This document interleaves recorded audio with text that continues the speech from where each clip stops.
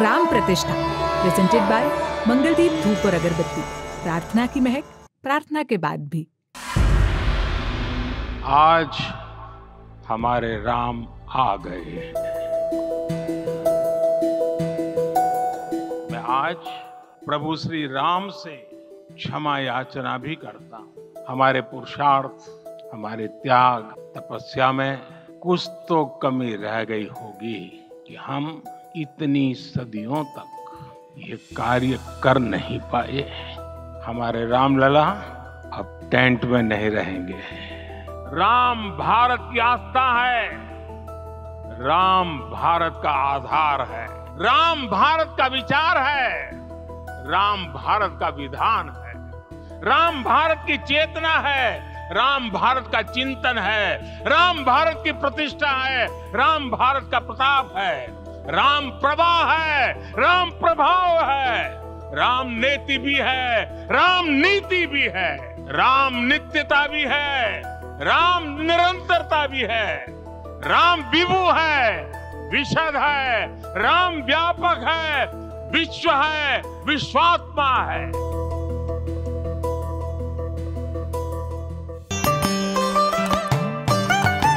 मंगलदीप, भगवान से दोस्ती। आज प्रभु श्री राम से क्षमा याचना भी करता हूँ। हमारे पुरुषार्थ, हमारे त्याग, तपस्या में कुछ तो कमी रह गई होगी कि हम इतनी सदियों तक ये कार्य कर नहीं पाए। आज वो कमी पूरी हुई है।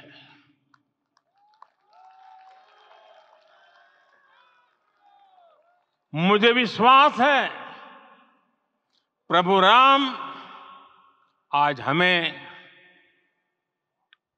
अवश्य क्षमा करेंगे। भारत के तो संविधान में, उसकी पहली प्रति में भगवान राम विराजमान है। संविधान के अस्तित्व में आने के बाद भी दशकों तक प्रभु श्री राम के अस्तित्व को लेकर कानूनी लड़ाई चली। मैं आभार व्यक्त करूँगा भारत की न्यायपालिका का, जिसने न्याय की लाज रख ली। वो भी एक समय था जब कुछ लोग कहते थे कि राम मंदिर बना तो आग लग जाएगी। ऐसे लोग भारत के सामाजिक भाव की पवित्रता को नहीं जान पाए।